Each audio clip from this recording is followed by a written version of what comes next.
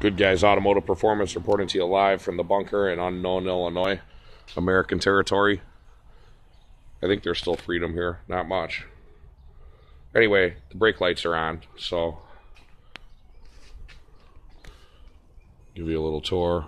70 Chevelle uh, project with Ford 9 inch posi rear end and four wheel power disc brakes. Used to have uh, four wheel manual drum. So sitting on our new rims and tires, and the angle's nice. 295s out back, 235s up front, or 245s. I think 245s. Got our uh,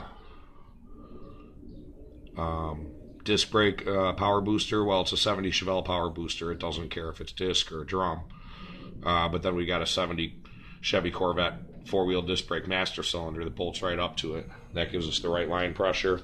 Uh, we've got a proportioning valve coming. The proportioning valve lives way down there where you can't see where all the brake lines meet up. Uh, this is our 414 roller big block with a mo- monster cam in it. And uh, so, yeah, pretty slick. I'm gonna. I, so Phil, I ordered you a smaller air cleaner because that big one keeps hitting the top of the hood, and um, it's just not that's not the setup that should be on the car is is what we what we're running. So I got you like for now a smaller 10 inch one, but eventually we'll make the cowl induction work um, and, and get that get what we need for that.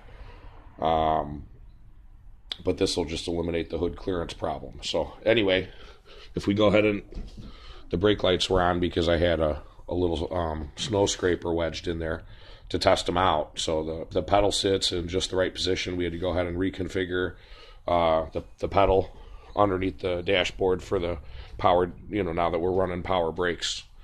Um, the manual setup was different, but we got the pedal in the right position, the power boosters installed.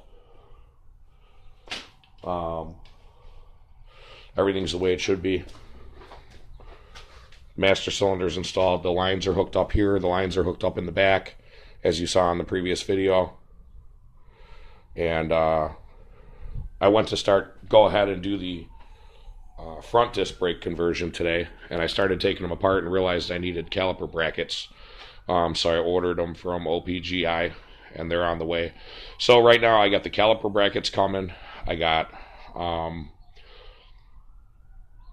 what else? There's a plug that I need to order for the carburetor that allows us to go ahead and put a vacuum port for a uh, for the power disc brake vacuum, which we need. So I had to order that Holley part today, and then I had to order a U joint because the knuckleheads at the drive shaft shop, um, it, whatever, it was just a bad experience. I asked them to do the drive shaft for me. Not that I couldn't have done it. I had other things to do. I thought it would be more efficient to uh, have them do it, and um, they didn't replace the U joints they were supposed to. The one that they did replace, they didn't put the correct one on. Nothing fit. And I had to just go ahead and I spent yesterday figuring it out. And um anyway I ordered the right stuff and I'll just put it in there myself. So I don't really care to complain about it. As Hillary Clinton would say what? At this point does it matter? Um yeah but the brake pedals were I mean you're not going to notice any difference. It was just the configuration of the stuff up inside there, the brake light switch, and the pedal position, whether you had power or disc, and I had to switch everything over to the, um, I mean, whether you had manual or power brakes, and I had to switch everything over to the power brake setup. So it's done, it's all dialed in, it's perfect. And then I just went and put another five gallons of 93 octane in it. Um, and uh, so every now and then I check the carburetor, and I just want to check the carburetor because the weather's changed. Well, it's warmed up, and then today it's not quite as warm as it has been the last few days. But uh, last time I fired it up, it was idling a little bit high, and I didn't like it. So I'm gonna check this out right now and just see see what it does.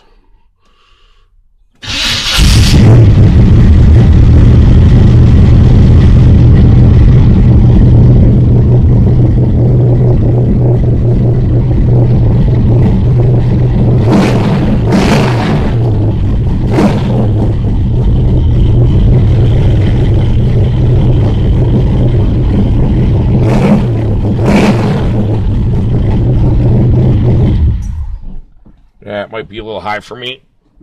I'm going to turn it down. I don't want it to warm up too much or the choke's going to start moving and that makes it hard to adjust the cold start. Um, but damn, it sounds good. So just like usual.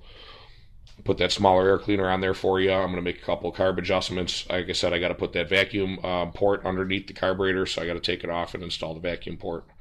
So there's still more stuff to be done, but that's going to get us a vacuum uh, line that comes around to the um, brake power booster right there. So, and then with the smaller air cleaner, we'll have better hood clearance because right now it's rubbing because for a variety of reasons. But the quick solution is put a little bit smaller air cleaner on there and be done with it. So I'm going to dial this in a little bit more. We're waiting for some parts. I thought I'd make you a video so you could uh, smell the gas and check things out. See how it fits with the new rims. That's a really nice profile there. It's going to be just about the same once the disc brakes are on the front, once I get those brackets. So everything's coming together. Good guys automotive performance. We'll see you at your next service.